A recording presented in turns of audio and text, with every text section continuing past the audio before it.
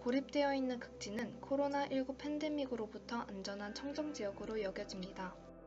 그러나 바꿔 생각하면 단 한 번의 코로나19 노출도 극지에 큰 위협으로 작용할 가능성이 있어 코로나19 청정지역으로 보존하기 위해 국제적인 노력이 이루어지고 있습니다.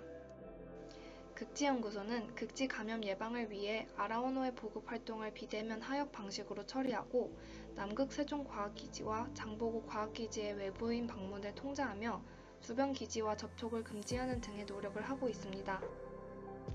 그럼에도 불구하고 여전히 극지는 코로나19 감염으로부터 위협받고 있습니다. 바로 플라스틱 때문인데요. 북극론에서 리터당 14,400개의 미세 플라스틱 입자가 검출되었습니다.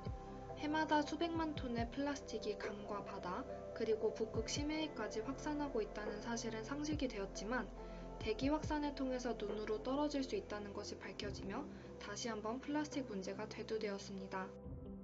그렇다면 미세 플라스틱과 코로나19 감염은 무슨 관계가 있을까요?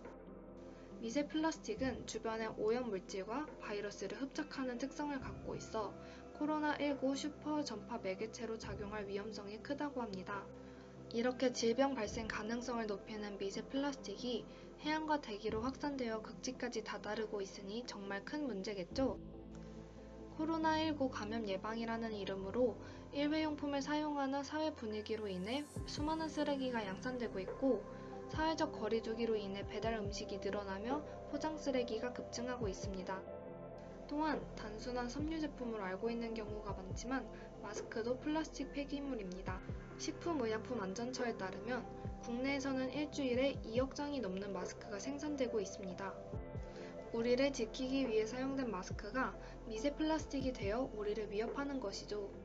무분별한 일회용품 사용이 과연 방역을 위한 최선의 해결책일지 생각을 해보아야 할 때입니다.